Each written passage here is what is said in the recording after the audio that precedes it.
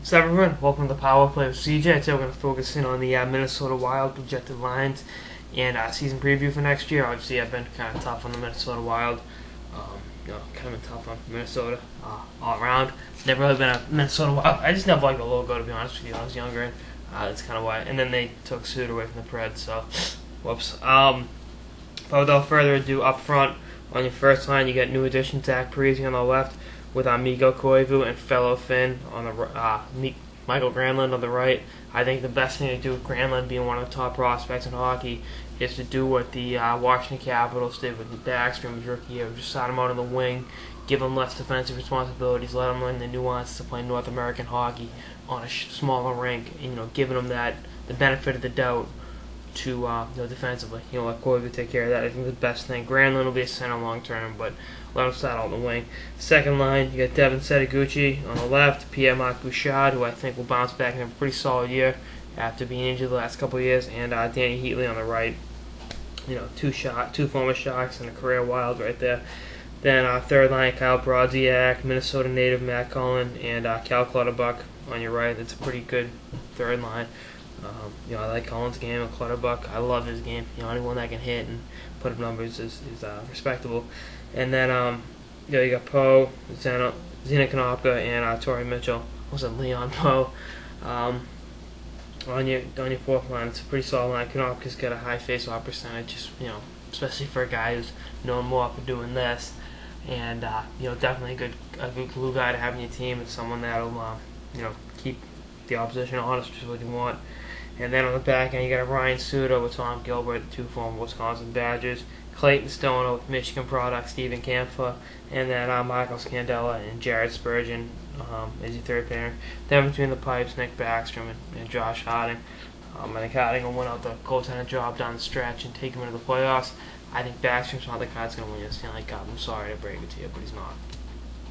Now, four names. There were a couple names that were notably absent from the Wild lineup. Uh, Charlie Coyle, Jason Zucker, Zach Phillips, Brett Bulmer, and Jonas Brodin best thing to do for Minnesota is start those kids in the minors. Start them with the Houston Aeros, the AHL, and let them, uh, you know, let them season, especially just, you know, the adjustment process playing against men. Zucker and Bulmer both have a few games when they show under their belt. Phillips, Coyle, Phillips and Coyle never played against men, and Brodin never played on North American ice surface. So that's something you got to do. You got to let them grow and develop, and then eventually trade Heatley. Which watch my last piece, I talked about. Um, the Heatley for Paul Martin trade, which made sense with both teams because this defense is the team's Achilles heel. Having a guy like Paul Martin, Coleman, Suter, and Gilbert would be your best option. And then by phasing out Heatley, you can bring up one of the younger kids to fill that spot once they're ready. It's not worth rushing any of these kids. You know, the Minnesota Wild have struck out too many times in the draft. You look at um, AJ Thelen, Benoit Pouliot, James Sheppard, Colton Gillies, Tyler Cuma, and then trading away Nick Leddy for uh, next to nothing you know, these young players you would have in your lineup, you know, all the spots, had you drafted someone else, and then a guy like Leddy would really have helped you out, especially, you know, Minnesota kid, Eden Prairie uh, product, former, I believe, former Mr. Mr. Hockey in Minnesota. check me on that, but, you know, all those draft picks you flushed down the toilet, um, you know, now is the time to, you know, get the, get, let the young players you have develop and then let them complement the star players you brought in through free agency, through Parise and Suter.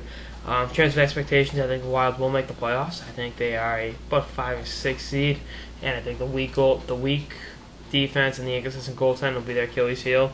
I think they'll be able to score, unlike Minnesota Wild teams in the past. But um, I think they're a year or two away. Let these kids develop and then fill out, you know, the roster spots around Parise, Suter, and Koivu. And uh, I think Granlund's the only one that plays the whole year in the show. I think his skill is, is too too good to keep in the minors, even though he could end up in Houston too at some point. Um, in terms of adjustment process, but we'll see how it all, see how it all works out. I'm pretty excited to see what the Wild do and uh, see how the free agency signings impact uh, impact them next year. Uh, that's all I got in this episode of the Power Play with CJ on the Minnesota Wild preview for next year. Stay tuned for more episodes throughout the off season and beyond. Later, guys.